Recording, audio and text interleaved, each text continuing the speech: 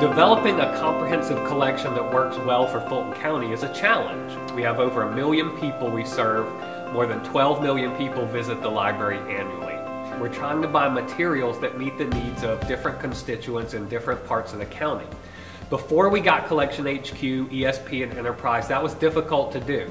We were relying on branch managers to make decisions that, that affected their purchasing locally. We wanted to, to find a way that we could have some real-time data analytics and, and really be able to study our collection in a way that, that we hadn't done before. An initial analysis of our collection determined that 53% of the collection was DOA, which means dead on arrival. The books had never circulated or circulated one time.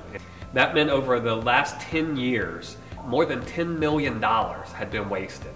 Part of what ESP allowed us to do was get rid of the material that was DOA and enabled us to refresh and reinvigorate the collection with materials that we know patrons want and need.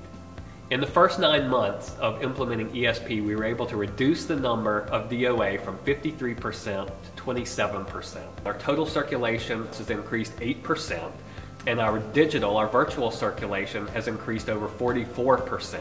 Our turnover rate has increased from 1.2, 1.4 per item to over 2 times per item. We freed up staff time in the collection development department. So now staff isn't spending the majority of their time going through and finding materials to order. They're able to spend more time on the materials we have. Part of what happens when you start examining your collection is you don't know what you're going to find, and you need some adaptability, and you need a partner that's going to be able to be responsive to your needs and, and be able to develop solutions that work for your particular library. Having the flexibility to work with the people at Collection HQ to customize this product specifically for our collection has been integral to the process. ESP can help amplify all of the things that are important to libraries, not just internally, but externally as well.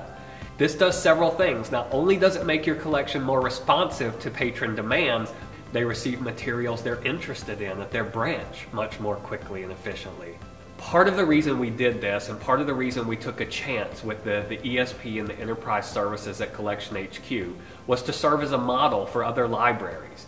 Your collection is the lifeblood of your library. It's absolutely imperative that you understand how the collection's being used.